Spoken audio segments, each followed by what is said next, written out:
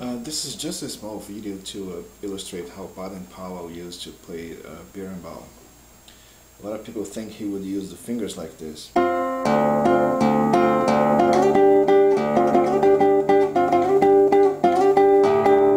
When in reality he would play like this.